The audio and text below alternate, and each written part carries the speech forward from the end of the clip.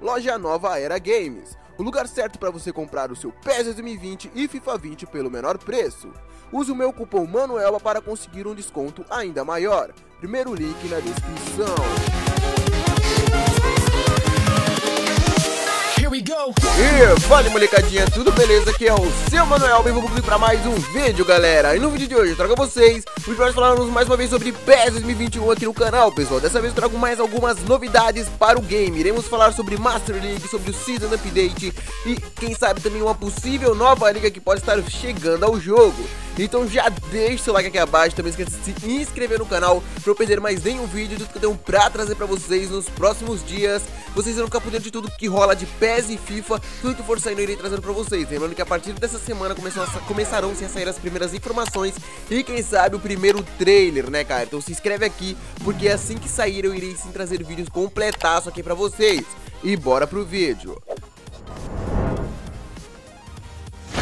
Antes um espaço para os inscritos do dia, todos eles foram lá e me seguiram no Instagram e estão recebendo um salve especial do Manuelba aqui hoje. Se você quiser aparecer no próximo vídeo, não perde tempo, vai lá e me segue, não custa nada, e sem falar que vocês perdem muitos conteúdos exclusivos do canal não me seguindo lá, né cara? Então vai lá e me segue, que quem sabe no próximo vídeo você já pode estar aparecendo aqui e recebendo um salve especial meu. E aí, apareceu? Deixa aqui nos comentários que eu irei dar amém em todos. Então se você quer aparecer amanhã, primeiro link na descrição ou se preferir, arroba vai lá e me segue. E bora pro vídeo.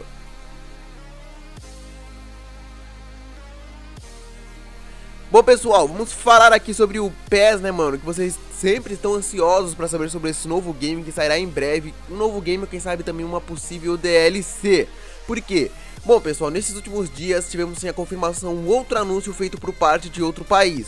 Depois da Austrália anunciar o game, né pessoal, como vocês bem se recordam, a agência australiana anunciou o PES como Season Update. Foi daí que onde surgiu todas essas informações e esses rumores. Então que a internet não parou após ver essa publicação.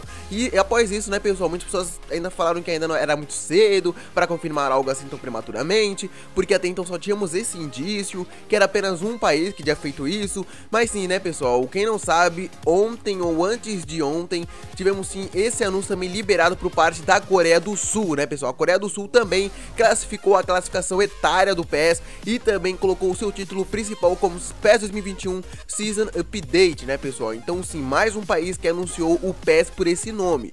Então não é um erro de digitação da Austrália, não foi um erro, um problema que eles tiveram ou um engano. Não, sim pessoal, agora sim tudo faz sentido. Agora além da Austrália ter anunciado o game como Season Update, a Coreia do Sul também fez o mesmo. Eu diria para vocês que o anúncio do, aqui no Brasil também está próximo, que deve sim sair já nessa semana. Inclusive o trailer oficial, né pessoal? Então vamos esperar ansiosamente para que tenhamos o primeiro trailer oficial do PES 2021 Season Update, né pessoal? E futebol, PES 2021 manterá o mesmo nome do ano passado. E vamos esperar para ver como é que será o planejamento de marketing da Konami esse ano, né pessoal? Porque quando eles lançam um novo game, eles liberam trailer, teaser trailer, todas as novidades, inclusive em seu site oficial tem todos os detalhes, só que eu não sei como é que eles irão trabalhar em cima de um Season Update, né pessoal? Isso tudo realmente tem que ver como é que a Konami planejou liberar essa atualização, né pessoal? E como é que eles irão trabalhar esse ano no marketing do game, né, pessoal? Esperamos que eles liberem muitas informações. Já passou da hora, né, Konami? Até agora não temos nada de oficial em relação ao game. Até agora eles não nem sequer falaram o nome PES 2021. Então esperamos que já essa semana essas informações que estão guardadas as sete chaves comecem sim a serem liberadas aos poucos. Bom, pessoal, agora eu vou falar pra vocês também que pintou, agora dessa vez é o rumor. O que eu acabei de falar pra vocês já é confirmado, basicamente. Não é oficial, porque a Konami não se pronunciou quanto ao assunto, mas é confirmado sim, PES 21 Season Update confirmado. Mas agora sim, iremos falar de um rumor, né, pessoal? O que que aconteceu? Vocês estão vendo o print aí na tela que parte do Jackfoot Trader, né, pessoal, que diz o seguinte: FIFA 21 não terá a liga chinesa, que é o Camp Scotia Bank, né, pessoal? Aparentemente, eles perderam essa licença para o PES. Provavelmente fez uma jogada. Ainda estamos trabalhando para obter uma confirmação sólida, mas acho que provavelmente é legítimo. Poucas chances de que eles tenham o estilo Piemont Calcio, Piemont Calcio mais improvável.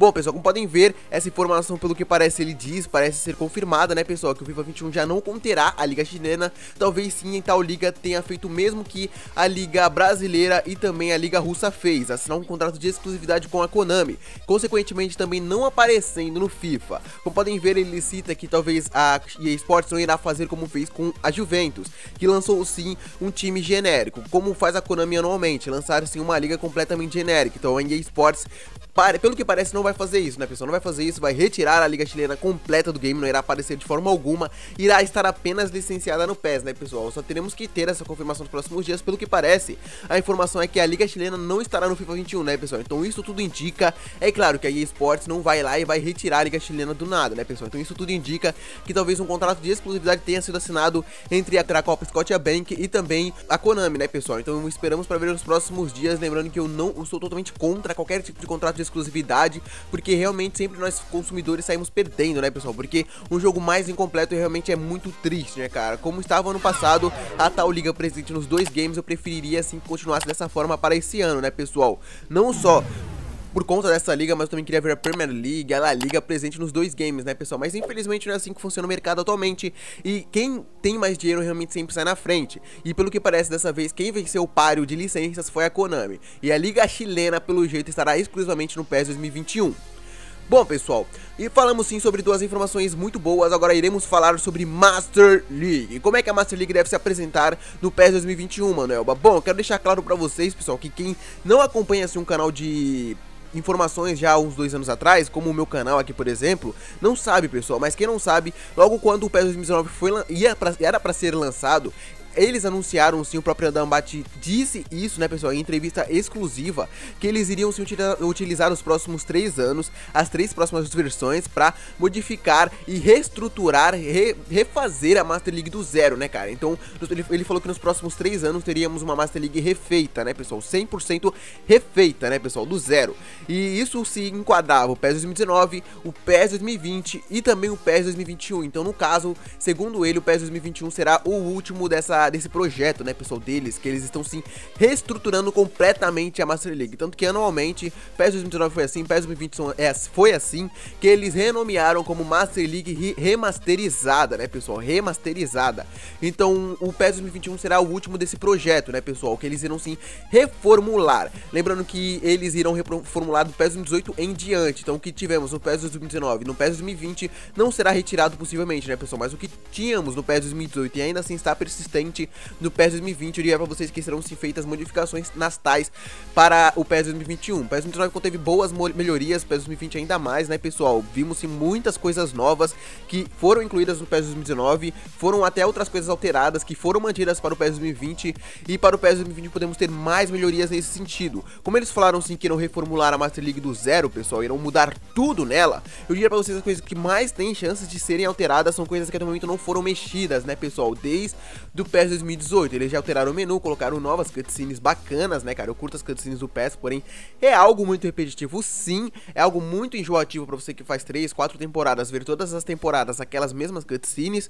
Mas eles estão indo pelo caminho certo, né, cara? Eu diria pra vocês que nesse, nessa Master League do PES 2021 teremos master, uma Master League 100%, né, cara? 100% boa. Eu diria pra vocês que será o grande foco da Konami esse ano, é a Master League, né, pessoal? Como vocês sabem, eles sempre falam que o My Club é o seu principal modo do game é um modo que faz o jogo vender, é um modo onde ele contém mais lucros devido à venda de moedas do MyClub, porém realmente eles deram uma grande modificação no MyClub. No PES 29 e no PES 2020 já realmente o grande foco foi a Master League, devido a esse pronunciamento de que três anos teríamos, teríamos né, esse projeto de reformulação e o PES 2021 realmente ser o último desse ano, eu diria pra vocês que será o ano que conterá mais novidades, né pessoal, isso são as minhas expectativas, de confirmado realmente só temos essa informação, PES 2021 será o último ano do projeto de reformulação da Master League nos próximos três anos anos.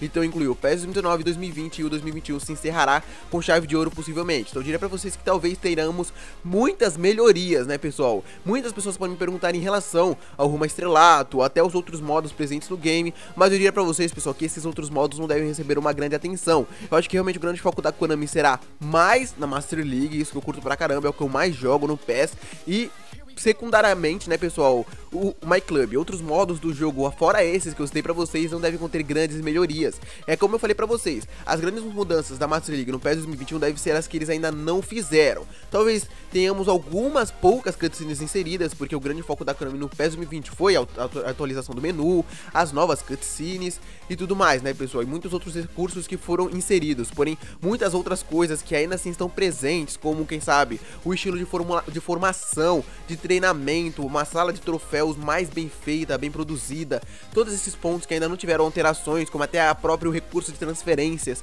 Tivemos uma, uma mudança feita, mas ainda não é o essencial, né, pessoal? Talvez tenhamos também uma, uma melhor gestão financeira na PES 2021, então podemos esperar todos esses pontos. Eu diria pra vocês que o ponto que eu estou mais ansioso para receber nesse ano, nessa próxima versão, é em relação à Master League, né, pessoal? Porque se eles anunciaram um projeto de 3 anos, esse por ser o último ano, acho sim que é o que conterá mais melhorias, né, pessoal? Então, vamos esperar ansiosamente as melhorias, as mudanças que serão feitas.